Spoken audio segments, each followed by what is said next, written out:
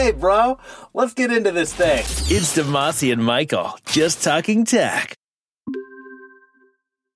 So is Edge set as your default browser? No, Well, that doesn't make any sense. it does not. So, what I did is I went to see more apps. That does look for another app on this PC. Really, you're going to make me completely browse to Google Chrome.exe? This is ridiculous. Yeah, I think it'd be faster for me to just open it. See, and people, this is why you need to figure out your workflows for being productive. When you try new things or you're trying to get shit done. That is oftentimes what leads to uh, what is the opposite of being productive? Non-productivity yes. would be the way to go. Yeah, it's funny because a lot of people end up in that trap of oh, I got to try this new app or this new service or this new feature they just added to my operating system, and instead of you know setting aside quote unquote downtime to you know play around with a new thing and see if it works. You're like, oh no, I'm just gonna do it right now while I'm in the middle of you know working. It's like, yeah, that's doesn't always go well. Most times does not go well. So it's interesting you bring that up because while working, uh, I sometimes you have that ability to have downtime. Sometimes you have to be flexible to be able to figure out what's going to make you the most productive while doing everything you need to do on a daily basis. Because, like, for me, I've learned when using Zendesk, I need to turn virtual viewer off if I want to make any settings to certain parts of the Zendesk interface. If I mm-hmm. want to make any changes to that, then I need to turn virtual viewer off. Well, I work for the company that I'm working for right now, and it took me a month to figure that out. But now that I know it, it makes me a lot more productive at my job on a daily basis. Understood. Understood. But it's not like I could just sit around and and poke Play at different things. But that comes down to your ability or desire to be more productive. Because if you just want to get the minimum done and take however long you want, then you're not going to find those little loopholes while you while you're working. yeah, I don't know if that made any sense. Yeah, I don't. Yeah, it did make sense, and I don't mean like be completely inflexible. What I was more touching on is like, uh, let's say so Apple adds, you know, like when Apple updated reminders, for example, right? Mhm. And you know, instead of you saying, okay, I'm going to take a look at this reminders app, see if it works. Like, nope, moving everything into reminders right away. Uh, and expecting to continue to be productive, or you know, somebody tells you about how great text expander is, and you're like, oh, okay, I'm going to start using that right now. Like you go download it, install Mhm. it, where you're going to spend like 10 minutes getting it set up. Then you got to figure out how to use it where you're supposed to be working. Right. Like you're right. not getting any work done because you're fiddling with this thing that's supposed to make you more productive. Like, and, and in your environment i- is, is very different because you really wouldn't have time to sit there and fiddle with text expander. Like that is definitely a, Mhm. a downtime sort of activity. Uh, but yeah, you're right. Like there are times where you need to figure stuff out as you're going, and you should totally be flexible enough to do that. But you also have to be, I think, um, intuitive enough to understand when something is wasting time versus you getting something done. It's like, okay, I'm doing this the long way. Okay, well, right now I cannot stop my job or stop my work to automate this, but I know it's automatable. Okay, I'm going to push that off to a later date instead of just stopping in the middle of your work and be like, okay, I'm going to figure out how to automate this, right? This Apple script, you know, do this, do this. You spend two and a half hours, and look, I'm, I'm guilty of it. First of all, like I had to learn Yep. The lesson that I'm speaking right now, but also I am guilty of spending two hours on working on getting a little script to work that maybe saves me 10 seconds every time I use it. Uh, but thing is, I don't ever have to worry about doing that that process again because I have a script that does it. For number one, I may never get those entire two hours back uh, over the lifetime of using it. But the second thing that automation brings into your workflow uh, is the ability to eliminate mistakes. Like when something is being Mhm. done precisely by the computer every single time, then that eliminates the mistakes uh, that you, the human, would make because you will forget a step in this process. Well, let's let's get a little more technical. That eliminates the mistakes that may happen until IT decides they have better ideas in mind for you and changes a little thing around. Well, see, that's why all IT people should be like me. Uh, well, maybe not exactly like me, but they should be more like me. They should think more like me, which means number one, before we push anything out here to the to the and I don't I really seriously don't mean for this to sound derogatory at all. But before I push mm-hmm. this out here to the regular people for them to have to use it, it should be tested first to make sure that it does what we think it's going to do. Not just, Right. oh, this looks great. Write the code or make the changes to the settings and hit update. Nah, everybody's got it. Uh, you know, it's like WordPress. Like you don't just go around randomly updating your WordPress site because oh 5.5 is out. Let me update it. Uh, it broke a couple of things. Uh, Mm. like there were some issues where where people couldn't, you know, add like what are they called? The image, the the primary image that shows up on your, Oh, your yeah. WordPress post. Yeah, like they couldn't update Featured image. change things. Yeah, feature images. Thank you. Uh, and for some people, the the solution to that problem was to clear their browser cache, right? And then that for some reason solved the problem. Very weird. What it turns out to be is WordPress removed some portion of the jQuery library. It's very technical. We don't need to get into it. They removed a portion of the jQuery library that a lot of plugin developers were actually using in 5.5. So they had to put it back in 5.5.1 because it broke a ton of stuff for different Mhm. people. But if you went around just, you know, operating on the premise, well, it's an update. We're going to update it. Just hit update, right? And then now your customers, co-workers, etc., can't update their blog posts or make changes in the way that they're used to because you just broke something because you didn't test it first. Right. That that's the whole premise behind, you know, what a lot of corporate on the other side, you can't be so rigid that you can't move swiftly to, you know, roll out an update to your end users uh, when there's a major flaw, right? You can't take six weeks to test an update that contains a serious patch for a remote execution vulnerability uh, to your software. Like that's that's just unacceptable. Because in the meantime, while you're testing, people are getting hacked. it's a fine line to to straddle because is. you you want to stay secure but you don't want to break shit when you're trying to stay secure so and you know this this is primarily focused at that point uh, for what we're talking about honestly to corporate customers or customers who are working with multiple different people. Because on the other hand i see an update and remy tells me to update it. Oh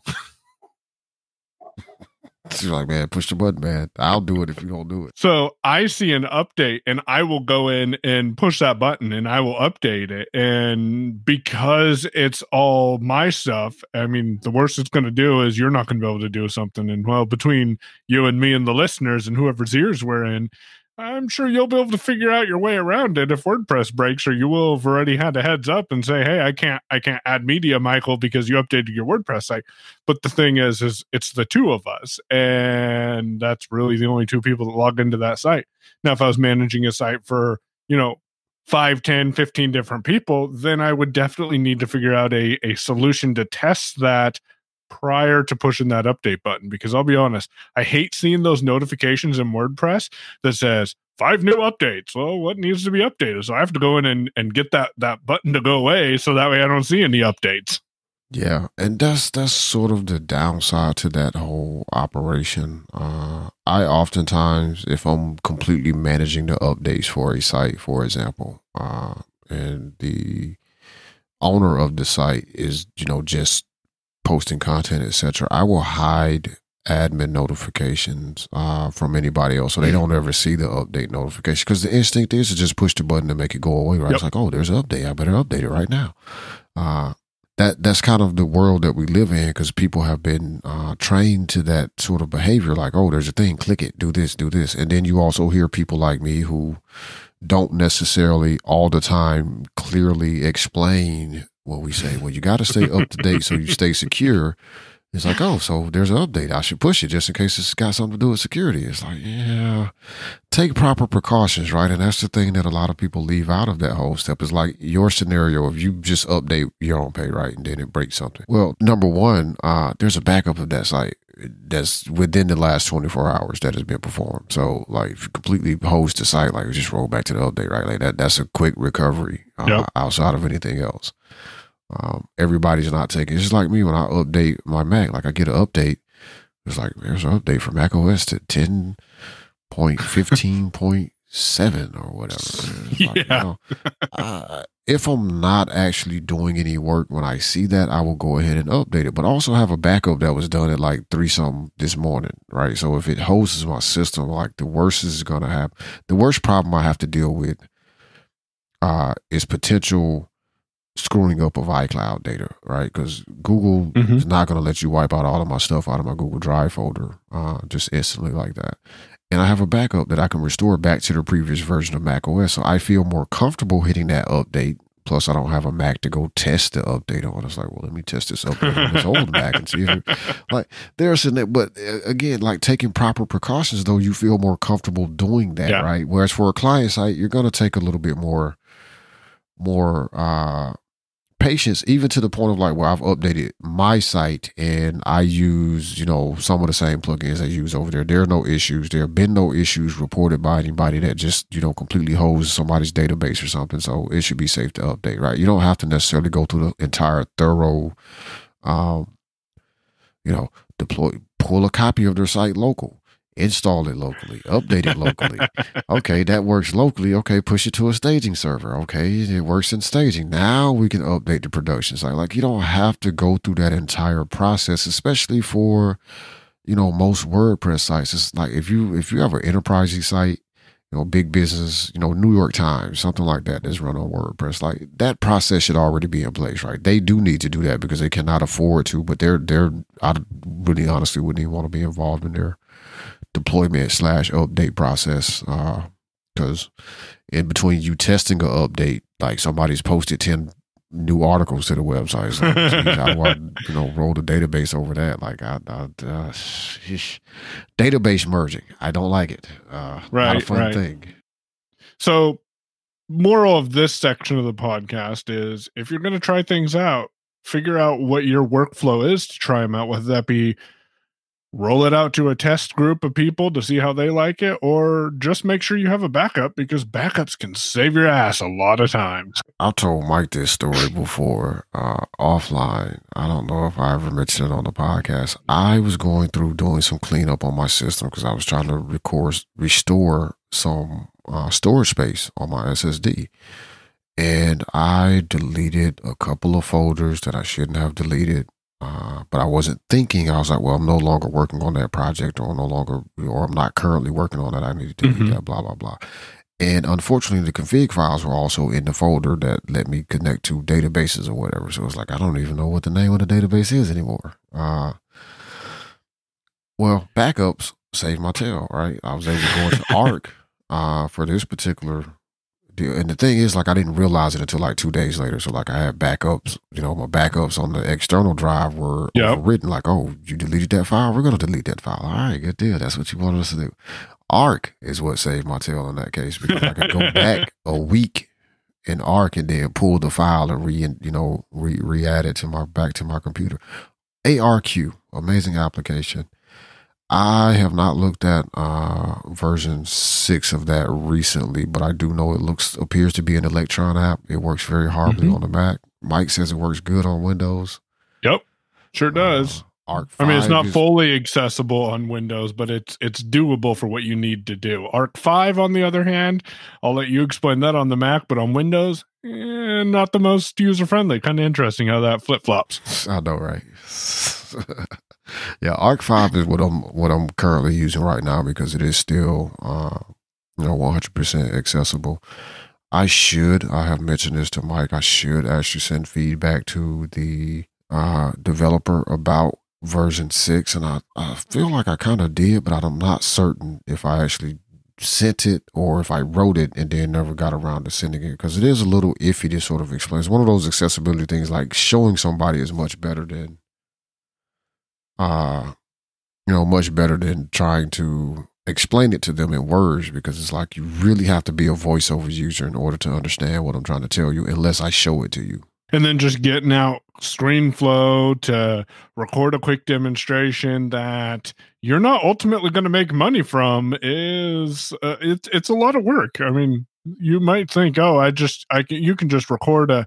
So I told Damashe about this yesterday. You can just record a quick demo of you doing it. Well, that's that. It things don't always work the way you expect them to do.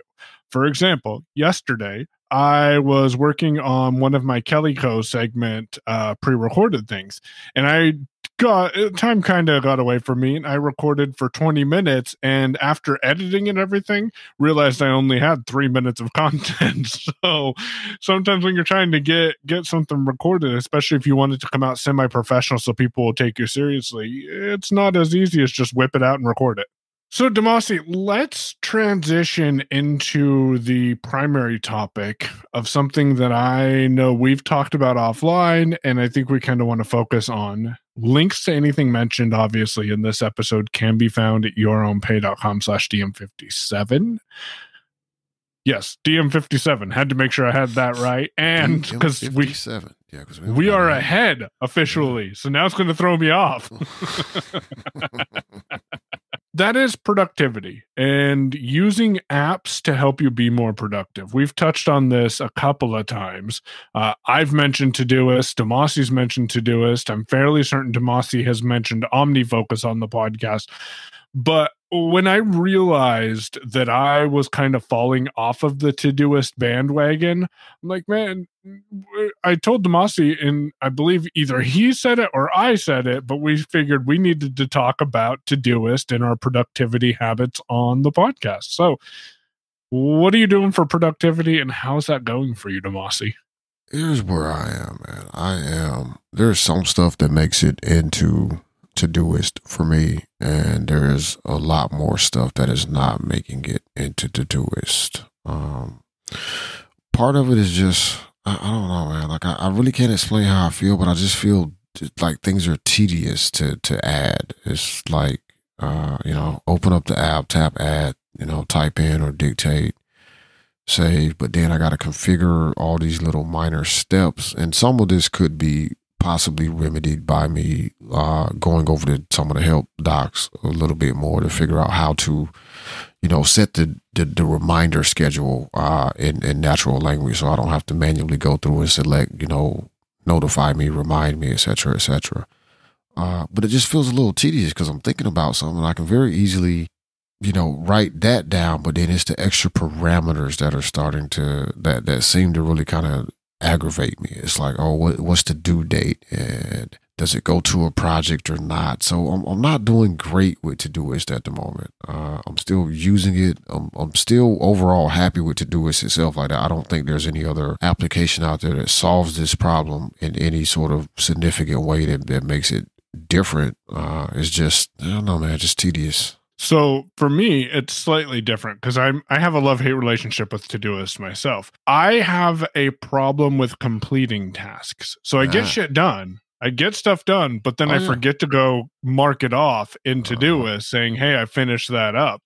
So on Android, which probably by the time this episode comes out, we will have changed things. So hopefully you're following us on Twitter because I'm really looking at the iPhone. For me, I can just add a add new task widget to the bottom right corner of my phone. Is there an add new task widget or a quick way to add new task? Because I'm wondering if maybe leveraging shortcuts in some manner might help with remedying your problem with getting tasks in. Um, there is so now in iOS 14 there is a add. Uh, there there's several kind of widgets for Todoist actually. Uh, one is a add new task, uh, and it's even customized down to you know letting you pick the project that is going to go to or the label that'll be applied to it. So it's pretty. I haven't actually sat down and said it. Widgets are a little fiddly with voiceover on 14 right now. Like they seem to be. Not all of them are as accessible as others, so you have to do a little faffing around to get it to work. But that that does exist another thing is that like I need to so I I part of this is my fault because I started deconstructing some of the automations and things that I had set up because things it, to me at least it got out of control. I had like I don't know 200 or something shortcuts and like I don't use most of these uh, drafts. I cleaned out my. I've been cleaning out my drafts, so I dumped most of the actions that I had in drafts, uh, except for a very handful that I knew I used on a very regular basis. And then I started either rebuilding or you know adding actions someone else had created. I still want to actually dump my entire database of drafts out and empty it out as well. Uh, but there is some stuff that I need to keep there. So I've been doing some digital cleaning. One drafts action that I need to add back, uh, which I have one now. I need to tweak it a little bit. Uh, but you know, I sit in drafts like as we're if I'm you know conducting a call with a potential uh, customer, I will write down things, right, and then I can run Mhm. this this action, and it will add all those things to a particular project or inbox or whatever in To Todoist. Now, Oh. what I want is to be able to write my notes and then using particular indicators, like say putting a hyphen in front of something would indicate that that's a task so that it's not trying to process the entire draft, it's looping through the draft and picking out the things that match a certain, you know, syntax and adding those as as, as actions, as uh to dos to uh Todoist. Shortcuts, I really have not played around at all with the Todoist shortcuts that are there, partially because going into the summer, you know, a lot of shortcut shit was broken. Uh Yeah. going from hours. And you were on beta over the summer, weren't you? Yeah, I was. That's what I'm saying. Like a lot of stuff was broken on beta with shortcuts. Like some, you know, this beta this works, next beta that doesn't work, but now this one works. Like it's very weird. So I didn't start adding new stuff. Also, they changed. They made s- some underlying changes to the way shortcuts work in 14. So I didn't really the entire summer, other than some shortcuts that I built just to test things, I really didn't add anything new or try out anything new because I knew, you know, I wasn't going to really get the full effect of it until they could push their updates live to iOS 14 once it was released. So, uh, for example, there's there's new actions for several apps. Like uh, DEVONthink, for example, has uh, shortcut actions now, so you don't have to screw Hmm. around with their URL scheme to do stuff. And I think a lot of that is due to some of the underlying changes in 14. So yeah, you're right. Like there there are ways to automate the process. Is just one thing that I need to do personally because, like I said, where I end up spending most of the time is trying to get the reminders to work because I don't always get notifications when I think I should. Or when I know I have set them up, and it's like, oh, what happened to the notification for that thing that I forgot about? Yeah. Uh, yeah. also like you um the things that make it in there like they're there uh but like you like i oftentimes forget to go check them off. Like i have done the thing and it's like oh i go into do is to to clean up some stuff or add some new things create a new project or something. It's like oh why do i have all these past due to oh i did that i did that i did that i did that i did it's like geez like what but that goes back to the notification problem right? I don't get a notification so it doesn't necessarily prompt me Because that's my prompt, right? Is like either I need to go start doing this because I haven't done it yet, or I have done it. Oh, let me check it off because I got the notification, which is fairly easy to do, you know, even from the lock screen. Like just you know, flick down, complete. All right, you're done. That mark that is marked done. oh, that is the oh man, flick down, just flick down. Uh, some of the other Oh. things I do want to do with Todoist to uh, is you know get more into using the API with third party services. Like we have a couple of things that uh, you know for for our hosting project that we're working on. Like that is one thing I want to be able to do is that support tickets come in is have those get filed to a project in Todoist. Uh, so that I see it, but I'm not dealing with email because I, man, email annoys me. Uh, to know you and me both. but I'm still a Todoist user, man. Like it is is is Yeah. cool going forward. Like I said, I probably should spend some time with the docs a little bit more. Uh, you found an interesting article on Reddit that someone walked through this what looks like an extremely convoluted way of doing deferred dates. What was what was what I said when I sent that to you? Uh, I think uh, this looks like what you want, but I need to wrap my mind around it or Yeah, something. yeah. uh, and I read it and I was like, oh, I, I, I, I get the gist of what they did. Yeah, I need to yeah. read that a couple of times before I could actually go produce that. It's like, do I really want to go through all of that trouble? Because here's the problem with it. Like, here, here's the overarching problem with it anyway. Uh, it is the manual moving of a task or a task from this list to that list so that they go from being, you know, deferred into active and then now I'm done with it, especially if it's a recurring task, I need to move it back. That's problematic. Damashe, my question for you though is why Todoist over OmniFocus if OmniFocus was working well for you in the past? Very simple. Web access, API Uh-huh. access, third party Yep. integrations. Like that that is what did it. Once I started looking at to Todoist and the accessibility of the iOS app did improve uh tremendously over the years. The Mac app has gotten better. It's, it's not perfect, but it's better than what it was. But Right. uh yeah it's it's the ability for third party integrations like uh you know like i said our support ticketing system that we configure uh for business is like for me at least is going to be tied to Todoist. so if one of you guys marks assigns a task to me in there like that's going to go to Todoist. so that way i Mhm. don't forget about it uh that's something i can't do with omnifocus at this point uh the closest you get to third party integration with OmniFocus is uh, forwarding an email to your super secret OmniFocus email address, uh, which then goes to your inbox. Because last I looked, they did not have the capability. They did have the capability for you to create multiple of those secret email addresses. Like I could give one to Michael that Michael could use, and then I could. So if Mike started to annoy me with tasks, I could turn his off and not screw up my stuff. Uh, but they all go to the inbox. It's not like, oh, here's one for your, you know, DMD project. So everything that gets sent to this address goes to DMD. Like there's there there wasn't even that level of customization, and I'm not certain that they're going to be able to, or at least at this current time, they're able to even do that. Uh, so you look at something like Zapier that does have an integration with, it Zapier, Zapier, whatever. ZA, whatever, Zapier. Uh, you look at something like Zapier that has integrations for OmniFocus, but all it is basically doing is the same thing. It's like whatever comes into Zapier or whatever gets processed by Zapier then gets sent to your Omni, OmniFocus email that goes into your inbox. So now it's incumbent upon you to go to your inbox and separate things out and move them around and assign them to the correct project. Now, on the one hand, I hear some people yelling. I am yelling at myself right now. That's part of the whole get getting things done mentality. You dump it all in the inbox and then you process it later. Huh.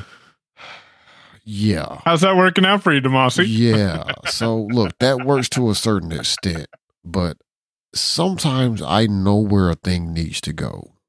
Like I Mhm. know exactly where it needs to go. I don't want to have to process it in my inbox or I don't want it to get lost in the mix with other stuff. S- Go back to our support ticketing system. A question comes in, Mike sees it first, but then Mike says, "Oh, well, that's a thing for Damashe to deal with because I don't know the answer to that." So he assigns it to me. It goes to um, uh, not OmniFocus Todoist. Well, Yep. the way that my Todoist is going to be configured is that anything coming in, first off, it goes to a particular project. Uh, and everything in that project gets a label and a super high priority. So nothing in that label or or or, project, nothing in that label is going to be, uh, you know, priority four or priority three. It's going to be priority one because I need to look at it, or at least priority two. We'll, we'll save the priority one stuff when some shit really blows up, but priority two, right? So that automatically means that if I just have a filter that says show me all of the prior priority two stuff, I haven't had to go in and move anything, right? This task came in, got assigned to me, went to to Todoist, and bam, when I open up a particular filter that says, show me all of the things assigned to me that have priority two. Well, then now I see somebody's having a problem with their media files in WordPress. Okay, let's go solve this problem. OmniFocus, that's in the inbox, which means if I go process my inbox at 10 o'clock at night, well, you know, probably not going to feel like trying to solve that problem 10:30 at night, which means it gets pushed off to tomorrow. So yeah, third party integration is what did it for me. The biggest thing I miss about OmniFocus at this point, honestly, that is difficult to duplicate in Todoist is uh, the defer date. Sometimes you have a project and the best example this guy gave in the or this person gave, I don't know if it's a guy or not, that this person gave in Reddit was I have recurring tasks to, you know, change the filter in the furnace or something. Uh well, once I check Every that off, months. it's not due again for another three months. I don't want to keep seeing that when I look at my task list uh, that I need to deal with the furnace because it's not due. It's not time yet. Mhm. Uh, it would be awesome if the doers could add like some sort of deferred date or, or some feature. They don't have to call it deferred dates because then it looks like hide and tell or don't like, show me you go. this Good or deal, good deal. yeah. Hide and tell or something. Uh, and there's people out there saying well just look at your your daily tasks or your seven days tasks well sometimes i want to look at all of the household tasks to say well what do i need to get done? And some of those tasks will show up even though they're like for me mine is change the water filter. I have to change the water filter every i think it's 160 days or something. I put whatever the package said. I literally threw that into to todoist. Change water filter every 160 days. And you know what every 160 days it pops up and tells me that i need to do it the other one related to that is because i know we have three water filters I put uh I, I multiplied 160 times three and I said buy new water filters in X amount of days. So I don't want to see that I need to buy new water filters until it's actually that time. Um and but if I go look at all my household tasks, there it is right there. Granted, I see the due date, but I, I really don't want to worry about that. Yeah, because what if you like you you might be in a frenzy and you're like frantically buying things in Amazon or Walmart or something. like, oh yeah, I should buy this too because I need this. wa- Oh shit, I did not need those water filters, and I just Yeah. spent forty five bucks on water filters I didn't need yet. Yep. Uh, yep. Hmm, But now I can mark this off and it won't remind me for well, if if I set it up right, every exclamation mark 600 days or whatever. Now it won't remind me for 600 more days, but it'll still be there. So I might Right go buy more yeah. water filters in a couple of weeks. right? Like it's not It just does. that I'm gonna Yeah. foolishly do something that I didn't intend on doing. Like that that's possible in some circumstances. But it's also like it's just cluttering up the interface. It's like, oh, never mind, ignore that, ignore that.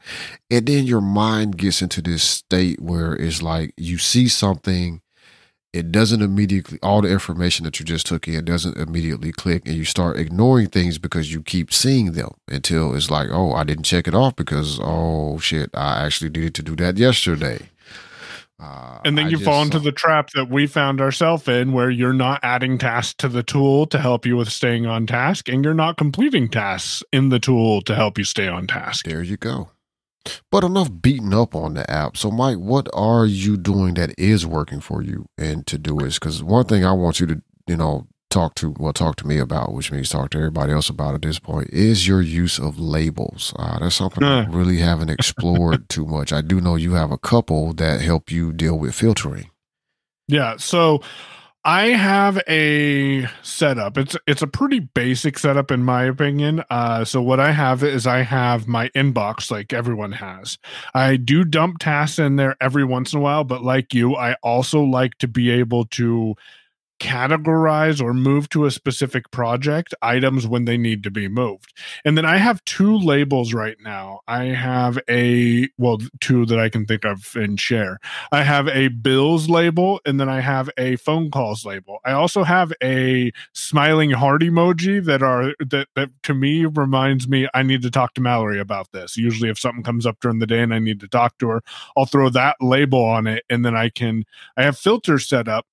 Uh, well, actually, I'm not using filters. I'm just, and I'm thinking about this now. I just use the label itself and pull that up, or is that a filter setup that grabs the label? I don't remember. Uh, uh, so I can ask you a question, but that is hilarious. Mallory doesn't listen to the show, does she?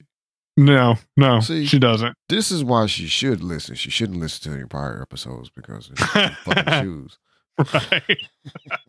but with her job, maybe, maybe now I, I can Maybe download a podcast app listen. and she'll start Yeah. listening. Yeah, yeah. Uh, uh, anyway, uh, but yeah. So if you're not, so if you don't do like a, a, a filter where it's like show tasks that have this label in our blah blah blah, like just tap it. If you just go to the label and just tap on it, that that Mhm. technically is a filter, but you didn't make it. It's just like it's just showing you stuff with that label.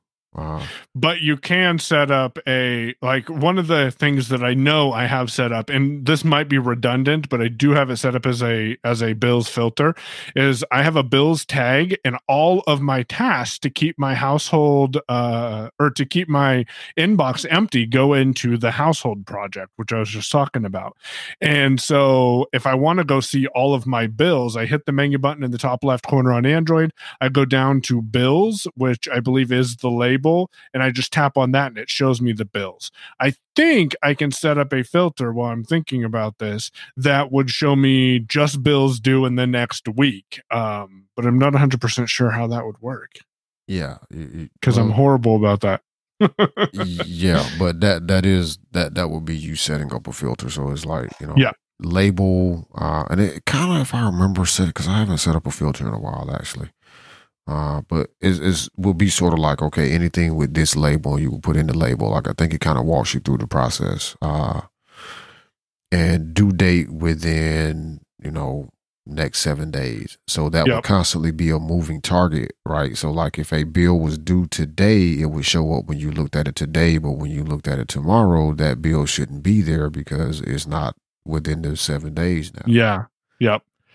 But that doesn't mean you actually marked it as complete. It it's just based on the due totally date. 'cause- that you did not pay that bill whatsoever. Yes. Uh, yeah that is literally the one thing i'm i can consistently say that i use Todoist for. I know my bills start about the 25th or 26th of the month.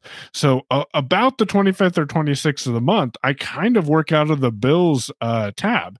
I go in and i pay some bills that i know need to be paid and then i'll check them off in there and i do remember to check those off. But here's the thing with bills. When you're just working out of the label not the tab but the label uh, if I marked off pay the water bill, which is due the 29th of the month, and I mark it off on the 27th because I got paid a couple days early and I just went ahead and took care of that. I still see pay the water bill, but it says the 29th of October instead of the 29th of September. mhm. And that's why deferring uh, tasks or or setting up a good filtering system, which I need to get back into the habit of doing, would be nice. When I'm on iOS, I do plan to do it. And honestly, actions, I miss actions. I already said that, but but the actions rotor option to be able to just flick down and mark a task is complete. Because right now, I have to flick to the right of the task to find the checkbox to mark it complete, which sounds uh, trivial. It it does sound trivial, but flicking down once and double tapping sounds a lot more convenient to me. Although now that I'm thinking about it, it's the same thing. I'm just flicking in a different direction. Can you mark? Can you select Ooh. items with the rotor in Todoist? Like bulk select them. So let's say you add 20 tasks to your inbox, and you're like, you know what, 10 of these need to go into the uh, podcast uh, uh, project. Can you multi-select? Because with Android, you have to double tap and hold on each task to s- add it to the multi-selection. So to do that, you hit the more actions button in the top right corner. Mm-hmm. And then there's a select task option in that menu that pops up. Then you can go through and just double tap to select a task. Uh, Huh. I should see if that works the same on Android because maybe I've been doing it the long way for a while because there is a more options button in the top right corner. But I've just found double tap and hold. You feel that little tap and then you go down, double tap and hold. Because if you just double tap on a task and not double tap and hold, then it pulls you into the task so you can make Mhm. modifications to that task itself. Mhm. Double tapping and holding just then when I did it, because I thought that was the way to do it, and maybe it- maybe that's a holdover for me looking at it on Android. Uh, it Yeah. brought up the context menu, which gives you the same uh, options that are basically on the rotor for voiceover users, which is uh, Ah. and maybe select task was in that menu. I didn't go all the way down. I just saw uh, complete. Uh, reschedule a couple other things that are in the rotor, and I was like, "Oh, okay, that's a rotor thing." I know Mhm. that there's a way to get that to instantly pop up. Uh, yeah, the more actions button, top right corner, gets you there. Todoist is actually really a nice app. Uh, when It is. It to is. It's, it's a terribly awesome service. Uh, And it's just to figure out Maybe- this filtering thing. Uh, Yeah. Yeah. Maybe we should we'll readdress filtering. I think we need to commit to playing with Todoist in the next couple of weeks and yeah, yeah. figuring it out because it could be even more powerful than what we're using it for right now. Because right now, if if if you're using it the way it sounds like you're using it, we're both just using it for pretty much get this out of my mind. I'll go complete it when I got time. Versus, I should be working directly from this app like I used to be in the past when I first Yeah, got started. yeah, and maybe yeah. that's. I was going to say maybe that's just part of growing with a task management tool is you realize once you put it in there, you're going to do that task, but there's got to be a consistent way to complete stuff. So, Damashe, over the next couple of weeks, I think we'll focus on trying to be more productive and keeping track of that productivity because I feel like we have this conversation about two or three times a year, uh, either on a podcast or privately, uh, with trying to get things more completed more and, and being more productive inside of Todoist. Uh, let us know what you're using for productivity and to keep track of all the tasks because I'm very intrigued by people who are just using iOS reminders. Uh, That, that I don't know if that would work for me, but I also haven't played with iOS reminders. So let us know. Uh, he's on Twitter at Damashe, D A M A S H E, and I'm on Twitter at Payown, P A Y O W N. Show notes and links to stuff mentioned at yourownpay.com slash DM57. You've been listening to Your Own Pay podcast. If you've enjoyed today's episode, visit yourownpay.com slash cast for exclusive content and to contact us today. We're eager to hear your thoughts and about how you're making this podcast your own. Thanks for listening. We'll be back soon. The Your Own Pay podcast, yourownpay.com.